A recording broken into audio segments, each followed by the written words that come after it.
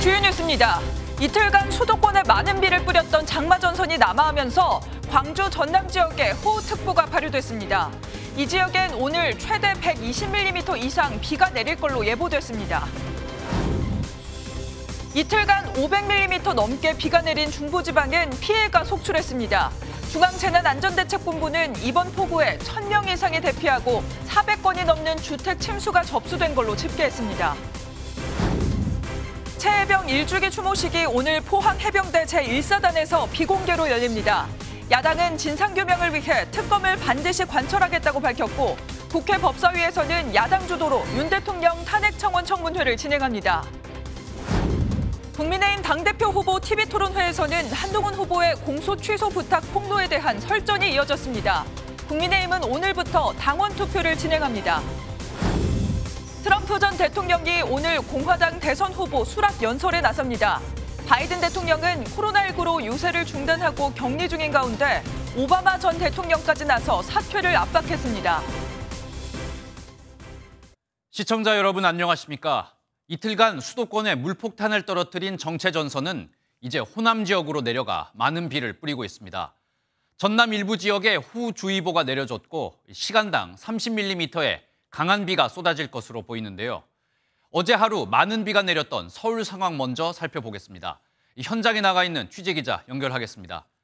이한나 기자, 일단 지금 장수교 상황은 어떻습니까? 네, 제 뒤에 보시면 잠수교가 완전히 물에 잠긴 모습 보실 수 있는데요. 어제 오후부터 현재까지 보행자와 차량 통행이 통제된 상태입니다. 현재 잠수교 수위는 6.8m를 넘었는데요. 수위가 5m를 넘으면 보행자 통행이, 6.2m를 넘으면 차량 통행이 통제됩니다.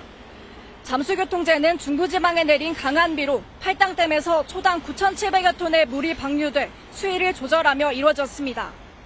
한강대교 수위 역시 4.4m에 달해 평소보다 강물이 불어난 상태입니다. 네, 어제 퇴근 시간대는 도로가 많이 통제됐었는데 이제 본격적인 출근 시간입니다. 도로 통제 풀린 상태입니까? 네, 출근 시간인 현재는 대부분의 도로 통제가 해제된 상태입니다. 다만 올림픽대로 여의상류나들목과 육산빌딩 진출램프는 여전히 통제되고 있습니다. 여의 하류나들목은 오늘 새벽 영동 일교 하부도로와 광운로 등은 어제 저녁을 기점으로 통제가 모두 해제됐습니다. 경기 북부 주요 교통망도 오늘 출근길엔 정상 운행하고 있는데요. 동부 간선도로는 하천의 수위가 낮아지면서 정상 통행되고 있습니다. 일부 구간 운행이 중단됐던 경원선과 경의선 철도, 경의선 등 철도도 전 구간 운행을 재개했는데요. 다만 경의선 문산에서 도라산 구간은 오늘 오전 중으로 운행 재개 여부가 결정될 예정입니다. 지금까지 잠수교에서 MBN 뉴스 이한나입니다. 이틀 동안 극한 호우가 쏟아진 경구, 경기 북부 지역은 큰 피해를 입었습니다. 물에 잠긴 파주는 도로가 통제되고 시민들이 고립되기도 했는데요. 리포트 보시면서 전남 지역 주민들은 비 피해 미리 대비하셔야겠습니다. 먼저 길기범 기자입니다. 새벽 시간 쉴 새 없이 내린 비에 도로는 금세 물바다가 됐고 달리는 자동차는 와이퍼로 아무리 닦아도 앞이 잘 보이지 않습니다. 시내엔 물에 완전히 잠긴 자동차가 속출했고 마을 뒷산 일부가 무너지는 아찔한 상황도 벌어졌습니다. 보트를 타고 실종자를 수색하던 구조대는 컨테이너에 고립된 남성을 가까스로 구해냅니다. 사흘간 640mm, 어제 하루에만 215mm가 넘는 비가 쏟아진 경기도 파주의 모습입니다. 특히 시간당 75mm의 극한 호우에 5명이 차량 안에 고립됐다 극적으로 탈출했고 외국인 노동자도 구조대의 목숨을 건졌습니다. 어, 노동자들이다 보니까 특별히 이제 거절할 데가 없으니까 자기네들이 그냥 있겠다는 거 이제 119에서 보니까 위험한 상황이니까 어, 구출해야 된다. 파주 외에도 연천엔 500mm, 동두천은 440mm가 넘는 비가 내렸고 의정부에선 시간당 103.5mm라는 최대 시유량이 기록되기도 했습니다. 이처럼 경기 북부에 내린 물폭탄에 어제 하루 신고된 비 피해 건수는 345건에 달합니다. 무서워요. 진짜 또 올까봐 또 그렇게 올까봐. 그냥 쏟아 붓는 것 같아. 비가 너무 많이 와서 애들이 그냥 꼼짝 말고 방에 가만히 있으라 그랬다니까요. 다음 주 또 큰 비 소식이 예고돼 주민들은 쉽사리 마음을 놓지 못하고 있습니다. MBN 뉴스 길기범입니다. 앞서 보신 것처럼 경기도 연천에는 이틀간 기록적인 폭우가 쏟아졌는데요. 이 한탄강에 물이 불어나면서 근처에 있던 시설들이 모두 사라져 버렸습니다. 이 40년 넘게 자리를 지켰던 매점과 오리 보트들도 순식간에 물에 떠내려갔다는데요. 이 소식은 추성남 기자가 보도하겠습니다. 한탄 강변을 따라 텐트들이 줄지어 서 있습니다. 오토 캠핑장은 물론 강변과 맞닿은 야영지가 있어 캠핑족들이 많이 찾는 곳입니다. 계속된 장맛비로 강변 야영지에 물이 차기 시작하더니 급기야 야영지 전체가 완전히 물에 잠겼습니다. 강 위에 있던 매점과 오리보트는 물론 미리 설치해둔 텐트까지 모두 떠내려간 겁니다.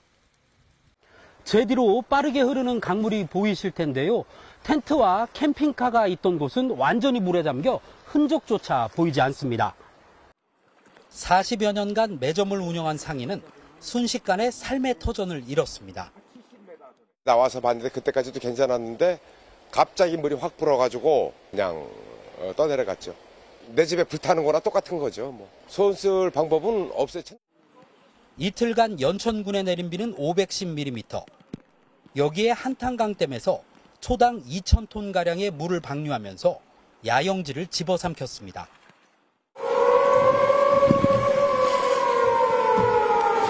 한탄강 수위가 급격히 높아지고 유속이 빨라지고 있어 대피 경보는 어제 하루에만 300mm의 비가 쏟아지면서 연천 지역 3개 하천에 홍수주의보가 내려졌습니다. 또 연천역과 덕정역을 잇는 경원선 운행도 멈췄습니다. MBN 뉴스 추성남입니다. 경기 남부 지역에는 시간당 최대 88.5mm에 달하는 폭우가 쏟아져 물바다가 되면서 도심 곳곳이 침수됐습니다.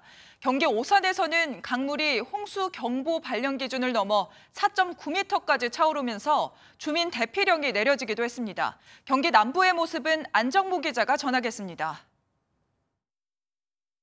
비가 쏟아지기 시작하고 10분 남짓에 도로는 빗물로 가득 찹니다. 40분이 지나자 인도와 차도를 구분하기 어려울 정도입니다. 시간당 88.5mm의 폭우가 내리면서 평택은 순식간에 물바다로 변했습니다. 요 물이 허벅지 아니 무릎까지 올 정도로 잠겨 있었고 요 밑에 문 틈새로 이게 물이 밀려 들어와 가지고 다 빼느라 고생 좀 했죠. 제 뒤로 보이는 390m 길이의 지하차도도 침수됐는데요. 흙탕물이 고여 마치 저수지를 이룬 듯한 모습입니다. 홍수경보가 내려진 경기도 오산시 모습입니다. 오산천 수심이 홍수경보 발령 기준인 4.2m를 넘어 4.9m까지 차오르면서 진입이 통제됐습니다.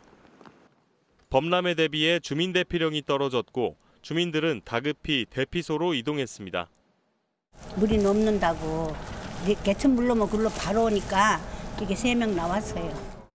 네, 문자가 계속 오길래 무서워서. 오산천 주변 주민 대피령은 해제됐지만 주민들은 주말에 다시 올 비에 가슴을 졸이고 있습니다. MBN 뉴스 안정모입니다.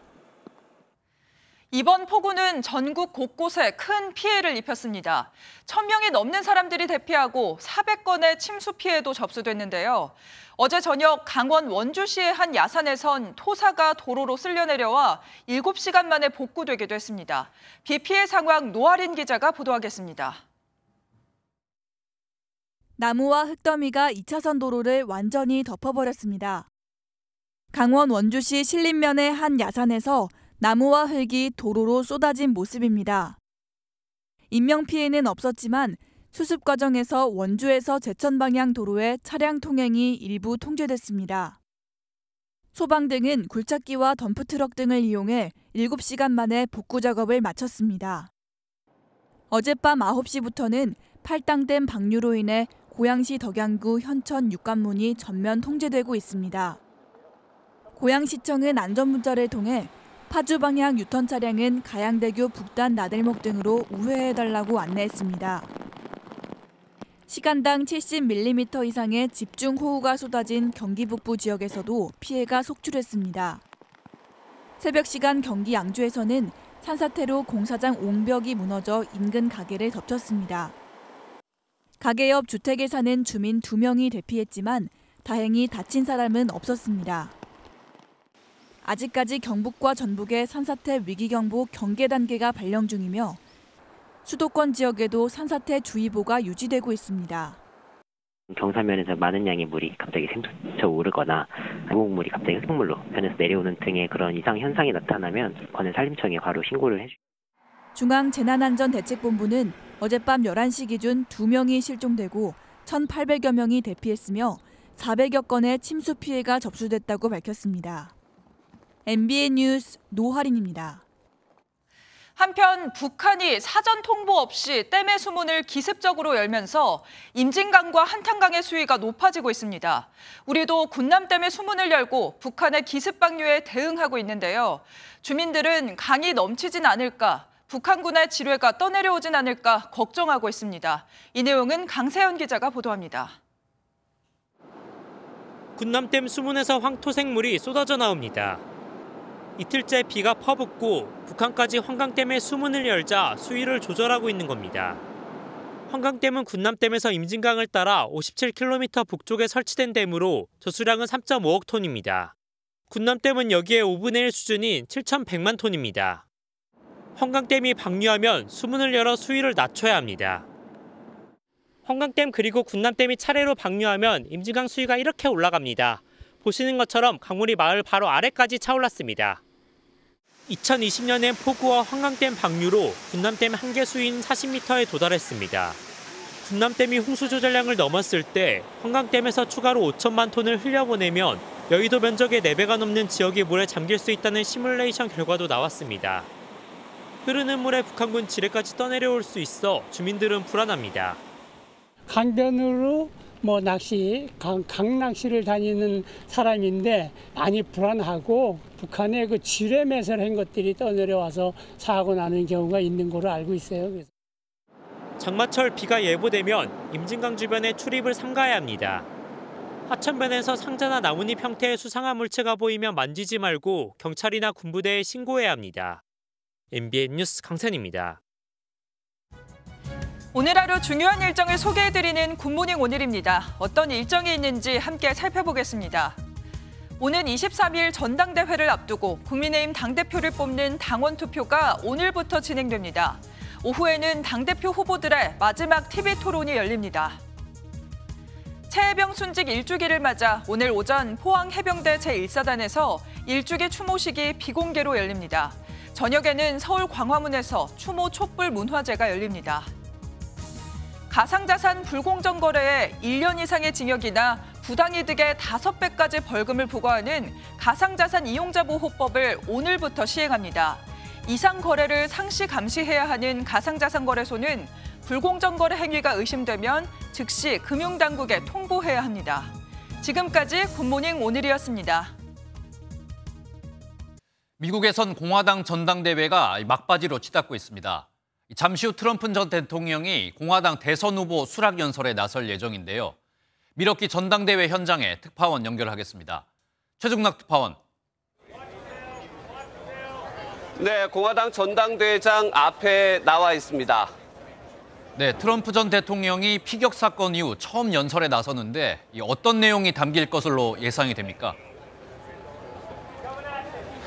네, 트럼프 전 대통령은 자신은 피격을 당했지만 미국은 하나로 뭉치자는 통합을 강조할 것으로 보입니다. 아, 기존에는 바이든에 대한 날선 공격이 예상됐지만 아, 피격 이후 첫 연설에 나서면서 내용을 바꾼 것으로 전해졌습니다. 이로써 트럼프 전 대통령은 대선 후보직 수락 연설을 하면서 세 번째 대권 도전에 공식적으로 나서게 됩니다. 아, 민주당은 바이든 대통령의 인지력 논란과 후보직 사퇴 요구 등 혼란이 계속되는 상황에서 교체 시 예상되는 해리스 부통령에 대해 언급할지도 관심입니다. 어제 공화당 전당대 연설은 아, 트럼프 가족이 총동원됐는데 오늘은 그동안 모습을 보이지 않았던 부인 멜라니아 여사와 장녀 이방카가 등장할 예정입니다. 네, 그런데 트럼프 후보가 이야기하는 미국의 통합이 동맹국들에겐 부담이 될 수 있다. 이런 분석도 있던데 이 내용도 짚어주시죠. 네, 트럼프 전 대통령은 통합을 강조하면서 미국 우선주의를 재확인할 것으로 예상됩니다. 힘을 통한 평화, 보편 관세와 중국 추가 관세, 불법 이민에 대한 단호한 대응 등이 담길 전망입니다. 어제 벤스 부통령 후보도 수락연설에서 동맹에 더 이상 무임승차는 없다며 아, 트럼프의 아바타 면목을 확실히 보여준 바 있습니다. We will make sure our allies share in the burden of securing world peace. No more free rides for nations that betray the generosity of the American taxpayer. 이처럼 미국의 우선주의는 한국 등 미군이 주둔하고 있는 나라에 대해서는 주둔 비용 분담액을 대폭 늘릴 것으로 요구할 것으로 보입니다. 아, 따라서 현재 진행 중인 한미 간 방위비 분담금 협상에도 아, 곧바로 영향을 미칠 전망입니다. 아, 트럼프 전 대통령은 오늘부터 유력 대선 후보로 공식 등장하면서 트럼프 2기 정부 가능성에 대한 준비가 어느 때보다 필요하다는 지적이 나오고 있습니다. 공화당 전당대회장인 미러키에서 전해드렸습니다. 트럼프의 상황과는 반대로 바이든 대통령은 사면 초가에 몰리고 있습니다. 대선 후보 지명이 일주일 연기된 데다 코로나19에까지 걸려 선거운동도 멈춘 상태인데요. 같은 민주당의 오바마 전 대통령까지 등을 돌리면서 이번 주말에 결단을 내릴 수 있다는 보도까지 나오고 있습니다. 이 소식은 이규옥 기자가 보도하겠습니다. 버락 오바마 전 미국 대통령이 오랜 침묵을 깨고 임계점에 다다른 바이든 사퇴 여론에 가세했습니다. 오바마 전 대통령이 민주당 의원들에게 바이든이 출마 여부를 진지하게 고민해야 한다는 뜻을 밝혔다고 미 워싱턴 포스트가 보도했습니다. 대통령과 부통령의 관계로 오랜 기간 정치적 동지였던 오바마 전 대통령마저 등을 돌리며 바이든 대통령은 사면 초가에 빠졌습니다. 와중에 코로나19 확진이라는 악재까지 겹치며 칩거에 들어간 바이든 대통령은 처음으로 사퇴 가능성을 열어두는 듯한 발언을 했습니다. If there had some medical condition that emerged, if somebody, if the doctors came to me and said, you got this problem, that problem. 미 인터넷 매체 악시오스는 바이든의 거취 결정이 임박했다며 이번 주말 내에 후보 사퇴를 결심할 수 있다는 민주당 관계자의 발언을 인용해 보도했습니다. 바이든이 고심 속 자맹에 들어간 가운데 해리스 부통령은 홀로 유세에 나서 청중의 환호 속에 연설했습니다. Do we believe in freedom? Do we believe in opportunity? Do we believe in the promise of America? And are we ready to fight for it? And when we fight, we win. 워싱턴 포스트는 해리스 부통령의 이런 모습이 마치 민주당 대선 후보 지명을 위한 오디션 같았다고 논평했습니다. MBN 뉴스 이교욱입니다.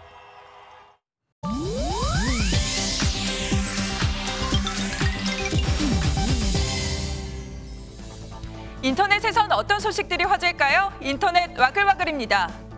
뺑소니 혐의로 재판을 받고 있는 가수 김호중 씨가 노숙자들을 위해 기부금을 전한 사실이 뒤늦게 알려졌습니다. 어제 서울역 노숙자 보호시설에 따르면 김 씨는 지난 5월 이곳에 1,500만 원을 기부했는데요. 당초 김호중 씨는 노숙자 250여 명에게 아침 식사를 제공하는 봉사활동을 계획하고 있었지만 5월 9일 뺑소니 사고로 경찰 조사를 받게 되면서 시설 측에 식사 운영 비용을 전달한 걸로 알려졌습니다. 해당 시설의 관계자가 재판 중인 김호중을 위해 탄원서를 제출하는 과정에서 알려진 건데요. 향후 재판에서 정상 참작을 받을 수 있을지 누리꾼들의 관심이 쏠리고 있습니다. 내리막길에 잠깐 세워둔 전기버스가 운전기사 없이 주행하면서 대형 사고로 이어질 뻔한 아찔한 장면이 포착됐습니다. 어제 오전 경기도 부천시의 한 교차로인데요. 전기버스가 미끄러지듯 달리며 교차로로 진입하더니 SUV 차량과 시내버스를 잇따라 들이받습니다. 운전기사는 버스에 전기가 들어오지 않아 하차해 확인하던 중 버스가 저절로 내려갔다고 진술했는데요. 이 사고로 60대 시내버스 운전기사가 목을 다쳐 병원으로 옮겨졌지만 다행히 두 버스에 승객은 한 명도 타고 있지 않아 추가 피해는 없었습니다. 경찰은 정확한 사고 경위 등을 조사하고 있는 걸로 알려졌습니다. 일본 전 피겨 국가대표 선수 아사다마오가 현역 시절 강력한 라이벌이었던 김연아 선수로 인해 힘들었다는 심경을 고백했습니다. 일본 요미우리 신문이 파리올림픽을 앞두고 출전 선수들을 격려하는 메시지를 전하기 위해 아사다마오의 인터뷰를 실었는데요. 2010년 밴쿠버 동계올림픽 당시 여자 선수로는 처음으로 트리플 악셀을 세 차례 뛰며 개인 신기록을 달성했지만 곧바로 김연아 선수가 세계 신기록으로 우승하면서 은메달에 그쳤고 이후 현역 생활 동안 김연아 선수와 비교되면서 고통스러웠다고 말했습니다. 은퇴 후에야 비로소 스케이트가 좋았다는 생각이 들었다고 전했는데요. 나는 즐기지 못했다. 18살 때 밴쿠버 올림픽 시즌에 처음으로 힘든 시간을 보냈다고 회상했다네요. 인터넷 와글와글이었습니다. 이렇게 한동훈 후보가 사과를 했지만 어젯밤 있었던 TV 토론에서도 설전은 계속됐습니다. 당원으로서의 자격이 있느냐, 나중에 불리해지면 캐비넷에서 파일을 꺼내 약점 공격에 쓸 거냐, 한동훈 후보를 향한 작심 발언들이 이어졌습니다. 이어서 김태희 기자입니다. 나경원 후보가 먼저 공세에 나섰습니다. 기소가 맞았다고 생각하십니까? 후보님, 그 판, 그 기소를 한 검찰총장이 대통령님인 건 알고 계시죠? 나 후보는 한 후보가 당대표는커녕 당원으로서 자격이 없다고 맹공했고 한동훈 후보는 즉각 반박에 나섰습니다. 공소 취소는 법무부 장관이 정할 수 있는 게 아닙니다. 너무 버, 아직도 검사신 것 같아요. 법무부 장관은 일반적인 사건에 수사 지휘권이 있고요. 패스트트랙 재판과 관련해 당의 법률적 지원이 부족했다는 한 후보의 지적에 원희룡 후보는 남 탓하냐며 공격을 퍼부었습니다. 법무부 장관으로서 우리 당의 수많은 정치인들과 우리 당원들과 수많은 대화를 했을 텐데 나중에 불리해지면 그 캐비넷 파일에서 꺼내서 또 약점 공격의 재료로 쓸 겁니까? 윤상현 후보는 한 후보에게 당정 관계 우려를 나타냈습니다. 그러니까 당정 간에는 대통령하고의 신뢰도 중요하고 또 보안도 중요해야 됩니다. 그래서 이 보안 문제에 대해서 특별히 신경을 써 주십사. 토론회에선 원전 정책과 외국인 노동자 최저임금 구분 적용, 핵무장 관련 정책 등도 논의됐습니다. 23일 전당대회를 앞두고 국민의힘은 오늘부터 이틀 동안 당원 투표를 진행합니다. MBN 뉴스 김태희입니다. 국회 법사위에선 야당들의 주도로 오늘 대통령 탄핵 청문회가 열립니다. 여야의 갈등이 오늘 최고조에 달할 걸로 보이는데요. 야당은 최해병 순직 사건의 진상규명을 벼르고 있고 여당은 청문회 자체가 위헌이라며 충돌하고 있습니다. 보도에 유호정 기자입니다. 사상 초유의 대통령 탄핵 청원 관련 청문회를 앞두고 더불어민주당은 청문회 정당성을 강조하고 증인 출석을 압박했습니다. 탄핵 청원 청문회는 명백히 국회의 권한이고 청문회를 거부하는 증인이 있다면 법에 따라 엄정 대응할 것임을 미리 경고해 두는 바입니다. 국민의힘은 탄핵 요건에 맞지 않는 청원 사유로 청문회를 여는 것 자체가 위헌이고 위법이라며 참석 의무가 없다는 입장입니다. 같은 편의 사람들은 말 맞추기 하고 다른 편의 사람들은 조롱하고 겁박하는 마녀 사냥의 장이 될 것이 불보듯 뻔합니다. 다만 야당의 일방적 공세에 대응하기 위해 청문회 참석 여부를 고심하고 있습니다. 오늘 청문회에는 신원식 국방부 장관과 김계환 해병대 사령관 등 6명이 불출석 사유서를 제출했고 대통령실은 출석 요구서 수령을 거부했습니다. 야당은 이번 청문회를 사실상 최해병 특검법 추진의 불쏘시개로 활용할 전망인 가운데 특검법의 재표결 시점은 불투명합니다. 민주당은 재표결을 미루지 않겠다는 입장이지만 거부권 무력화 조건인 여권 내 8석의 이탈표가 나올지는 미지수입니다. 법사위는 오는 26일에는 김건희 여사 관련 의혹을 다루기 위한 2차 청문회를 열 예정입니다. MBN 뉴스 유호정입니다. 지난 대선 과정에서 윤석열 대통령의 명예를 훼손하고 대선에도 개입한 혐의로 화천대유 대주주 김만배 씨가 재판에 넘겨졌는데요. 검찰은 김만배 씨가 이재명 대표의 대선 캠프에서 연락이 오니 말을 바꾸라고 지시하는 등 대장동 의혹을 덮기 위해 프레임을 만들고 여론을 조작했다고 보고 있습니다. 보도에 홍지호 기자입니다. 지난 2021년 대장동 민간업자인 남욱 변호사는 언론 인터뷰에서 그분을 언급했습니다. 화천대유 대주주 김만배 씨가 천화동인 1호 지분 절반의 주인이라고 한 그분이 유동규 전 본부장은 아닐 거라는 취지였습니다. 이를 두고 대장동 그분은 이재명 전 대표일 것이라는 의혹이 커졌습니다. 그런데 남 변호사는 얼마 지나지 않아 이를 부인했습니다. 그분이 이재명 지사가 아니라는 말씀이 좀 바뀌신 것 같은데 어떤 취지로 이유가 아닙니다. 바뀐 게 아니고 오해들 하신 거고. 검찰은 허위 인터뷰 의혹으로 김만배 씨를 추가 기소하면서 김 씨의 지시로 남 변호사가 이렇게 입장을 바꾼 것으로 보고 있습니다. 김 씨가 이재명 캠프에서도 연락이 오니 그분이 이재명이 아니라고 분명히 정리해라고 말했다고 공소장에 기재했습니다. 화천대유 대표였던 이성문 씨가 이 전 대표에 대해 민간업자의 이익을 빼앗은 공산당이라고 증언한 것에도 김 씨가 관여했다는 게 검찰의 시각입니다. 투자회사 대표가 법정 증언에 나와가지고 어, 정말 저보고 빨갱이 같다, 공산당 같더라 이렇게 얘기했어요. 검찰은 김 씨가 인터뷰 종용과 공산당 프레임에 이어 윤 대통령의 수사 무마 의혹에 대한 허위 사실로 대장동 의혹을 덮으려 했다고 판단했습니다. MBN 뉴스 홍지호입니다.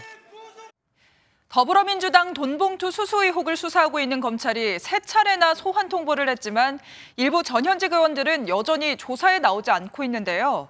수사팀은 마지막으로 한 번만 더 기회를 준 뒤 그래도 검찰에 나오지 않는다면 강제 구인에 나서는 방안을 검토 중인 걸로 알려졌습니다.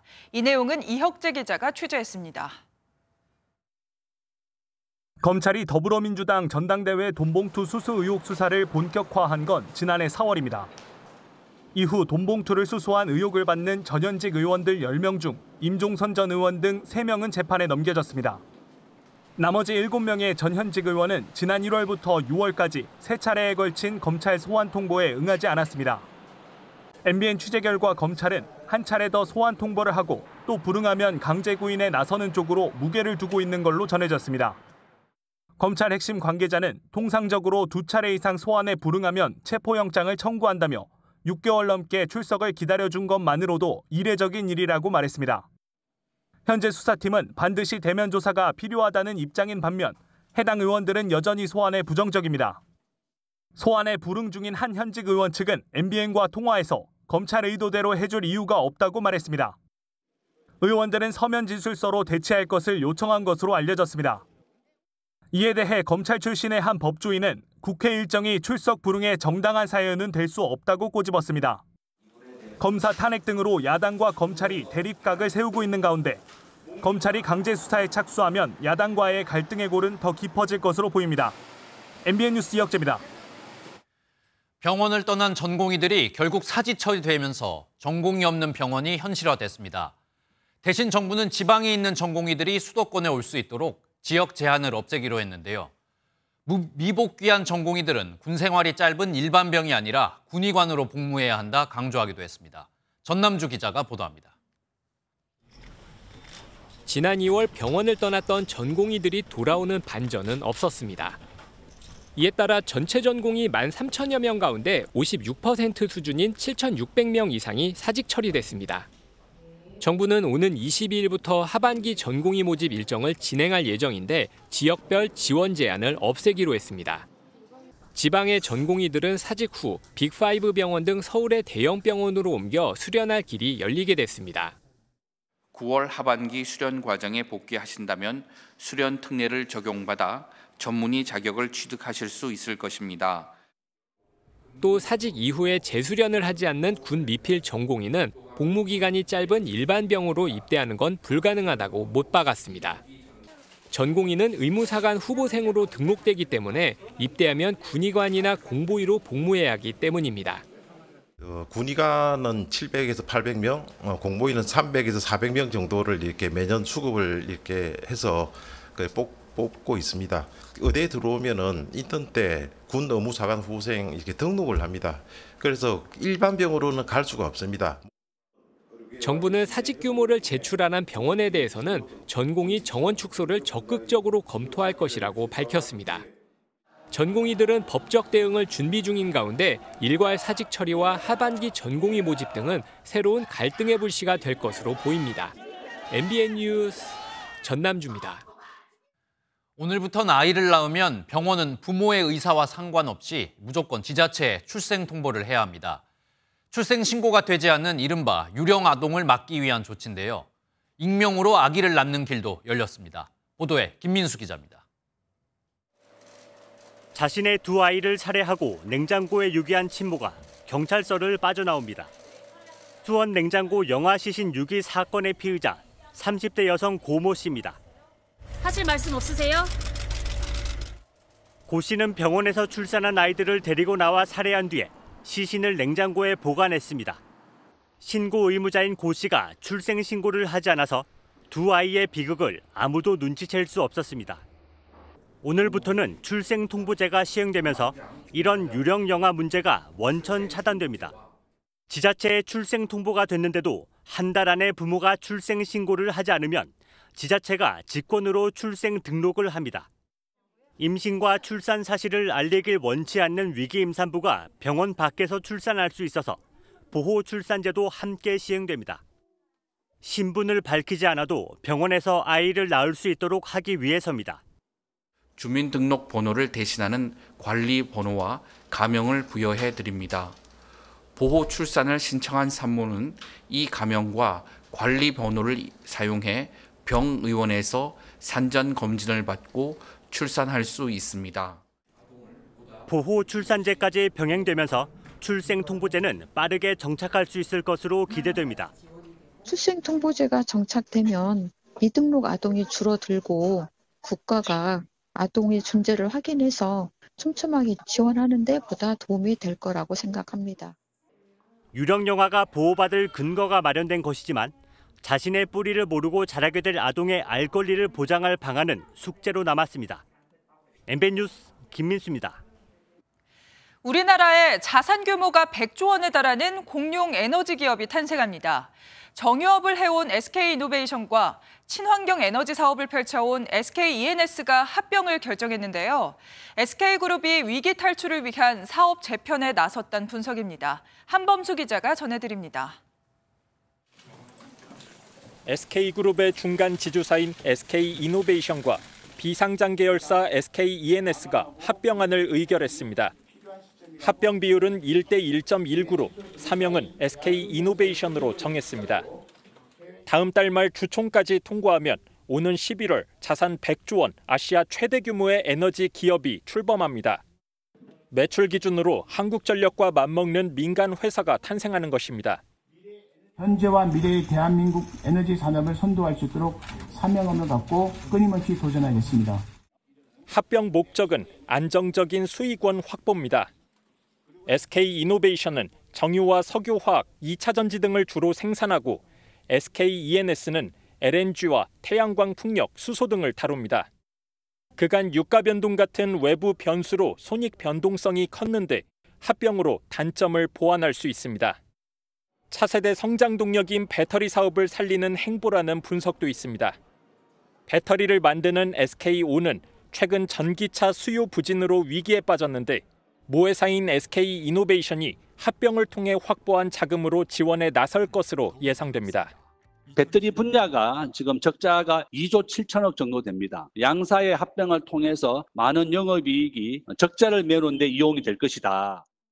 최태원 SK그룹 회장은 밀림의 시대에는 기업이 혁신해야 생존할 수 있다며 사업 재편 의지를 우회적으로 나타냈습니다. MBN 뉴스 한범수입니다. 서울의 집값 상승이 계속되면서 일단 집부터 사자는 패닉바잉 조짐이 나타나고 있습니다. 이번 주 가격 상승폭은 5년 10개월 만에 최대를 기록하기도 했는데요. 10개월 만에 부동산 관계장관 회의를 연 정부는 저렴한 주택을 23만 호 공급하겠다며 특단의 조치까지 언급했습니다. 서울 아파트 값은 언제까지 오르는 걸까요? 이승민 기자가 보도합니다. 서울 송파구의 5,500세대 아파트입니다. 토지 거래 허가 구역이어서 갭 투자가 불가능하지만 전용 59제곱미터가 22억 원에 거래되면서 신고가를 기록했습니다. 강남까지 넘어가기는 너무 비싸니까 이쪽 감- 잠실 쪽으로 먼저 오더라고요. 2, 3구동 그게 제일로 남양집이고 노야리예요. 공급 위축 우려와 기준금리 인하 기대감까지 더해지면서 서울 아파트값 주간 상승률은 2018년 9월 이후 최고치를 기록했습니다. 패닉 바잉 조짐이 나타나자 정부는 10개월 만에 부동산 관계 장관 회의까지 열었습니다. 먼저 2029년까지 3기 신도시를 중심으로 23만 6천 가구를 시세보다 크게 저렴하게 공급하고 다음 달 중 추가 공급 확대 방안을 발표하기로 했습니다. 공공 매입 임대주택을 계획보다 만 호가량 더 늘리고 빌라 등 아파트가 아닌 소형 신축 주택을 구매할 때 세제 지원도 확대합니다. 관계부처 차관급 부동산 시장 및 공급 상황 점검 TF를 매주 가동하겠습니다. 이러한 조치에도 불구하고 시장 과열이 나타난다면 특단의 조치도 정부가 시장에 강한 신호를 보냈지만 세부적인 방안이 나온 것은 아니어서 달아오른 매매 수요를 잠재우기엔 제한적일 것이라는 평가가 나오고 있습니다. MBN 뉴스 이승민입니다.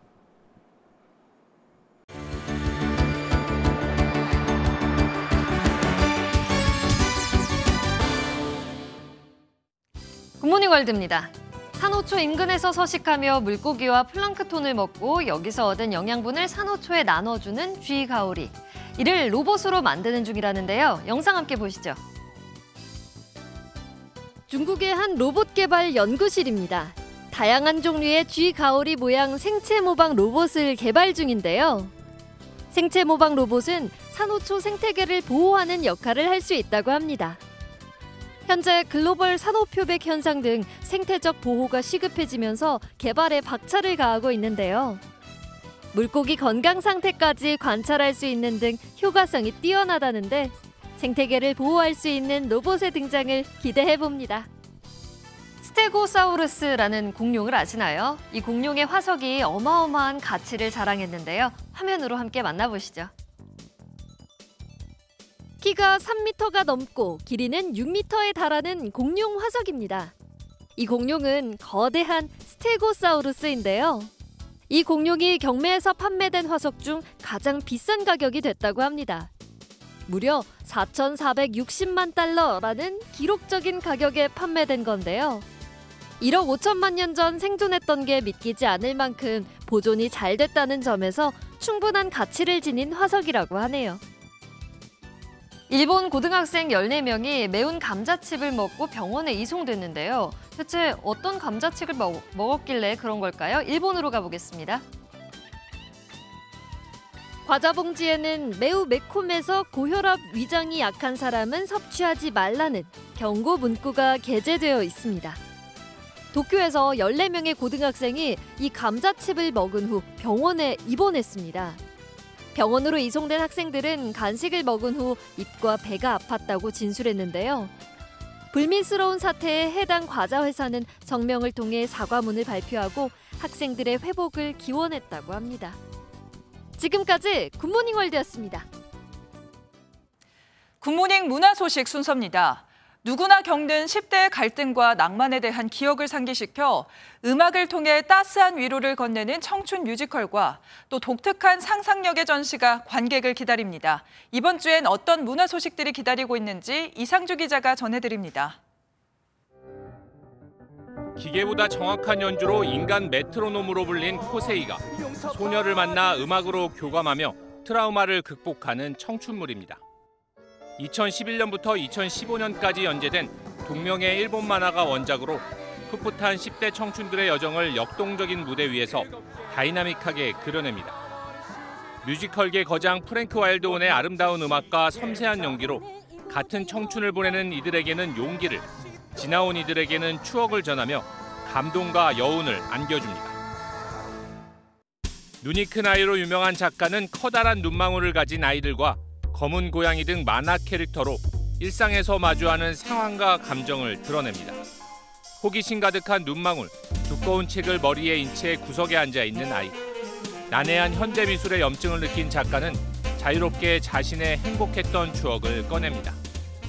카예아의 국내 첫 대형 단독 전시로 작가의 예술 세계를 대표하는 상징적인 작품과 처음 선보이는 10여 점의 대형 페인팅, 피규어, 드로잉 등 신작까지 120여 점의 작품을 망라했습니다. bromear diciendo que No Here es una exposición para no venir, pero quisiera invitar a todo el mundo a que, a que viniera. 사람보다 큰 반려견 까망이와 단발머리의 소녀가 다정하게 마주봅니다. 작가는 일상의 풍경과 빛이 교차하는 배경으로 반려동물과 인간의 만남이라는 환상적인 순간을 그려내는데 강아지와 고양이, 관상어는 각각 관계, 자존감, 그리고 꿈과 희망을 담고 있습니다. 거대하게 자리 잡은 반려동물과의 유대감을 통해 위로받고 부정적 감정을 없애 진실한 자아를 발견하고 마주하는 의도를 담았습니다. MBN 뉴스 이상주입니다. 오늘 아침 수도권과 강원도는 비가 소강 상태를 보이고 있지만 충청과 남부지방 곳곳에는 비구름이 머물고 있습니다. 특히 전남과 제주, 추자도에는 호우주의보가 발효 중인 가운데 시간당 20mm 안팎의 세찬 비가 집중되고 있습니다. 앞으로 서해상에서 강한 비구름이 꾸준히 유입되겠고요. 오후까지 전남과 경남에는 시간당 30mm 안팎의 집중 호우가 쏟아지는 곳이 있겠습니다. 오늘 하루 동안 예상되는 비의 양은 전남에 최고 100mm 이상, 경남에도 최고 80mm의 많은 비가 내리겠고요. 수도권과 강원도는 오전까지 소강 상태를 보이다가 오후부터 가끔 비가 내리겠습니다. 내일과 모레도 전국에 비가 내릴 텐데요. 중부지방을 중심으로 강하고 많은 비가 내리겠습니다. 특히 내일 중부와 전북에는 최고 80에서 100mm 이상의 비가 내리겠고요. 남부지방은 오후부터 밤사이 소강 상태를 보이는 곳이 많겠습니다. 오늘 지역별 낮 기온 보겠습니다. 서울과 춘천 31도, 강릉은 34도로 수도권과 강원도는 어제보다 5도에서 7도가량 높겠고요. 충청과 남부지방은 어제와 비슷한 기온을 보이겠습니다. 수도권 등 중북부 지역은 다음 주에도 비 소식이 잦겠습니다. 날씨였습니다. 금요일 아침 굿모닝 MBN 마치겠습니다. 저희는 다음 주 월요일 아침에 찾아뵙겠습니다. 오늘도 좋은 하루 보내세요. 고맙습니다.